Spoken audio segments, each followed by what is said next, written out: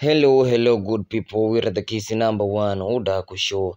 Now, this time, sure, I got some Udaku for you. Now, we all know the famous uh, uh, singer rapper by the name Kamto Fulani, aka Pere Pere, aka Owanchani Nesi Kamu. Amefanya wimbo ambao umetrend sana uh, katika mitandao ya jamii kule YouTube, uh, Twitter, uh, Instagram, kule TikTok. Wimbo umekuwa ukifanya vizuri sana and now um, baada ya wimbo kufanya vizuri sana kule YouTube uh, pametokea kijana uh, by the name Vanny Quiz, mwimbaji pia chipuka kutoka Kisii, ambaye amesema wimbo huo sio wa kamtu fulani na ameweza uh, kumpiga copyright Kamto uh, fulani. So this time currently hawezi kuuona wimbo huu kwenye uh, uh, mitandao ya kijamii and now Kamto fulani uh, amerespond kusema kwamba hamjui um, Vanny Quiz na hata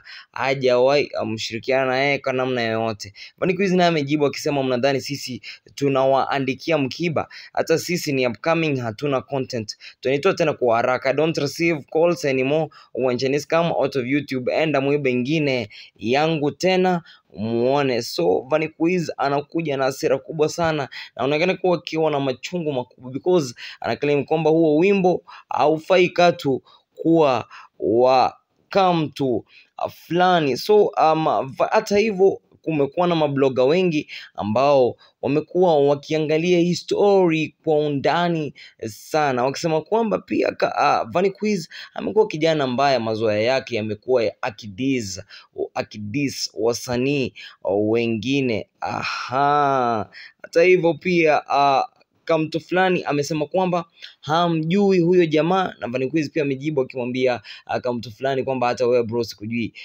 Huku kuna Kisi Udaku channel ambayo imechangia pakubwa katika hii story ikisema Escambe mtu fulani is out on YouTube due to copyright claim uh, by uh, this always noisy kid uh, Vaniquiz. Kwa hivyo eh, jongea jongea huku kwenye Kisi Udaku show uh, tufuatilie kwa undani uh, tuweze kukujuza katika mambo ambayo yana trend huku uh, Songo chituka, lakini katika hii story ya kamtu fulani uh, na Vaniquiz, unaona inajenga au inabomoa?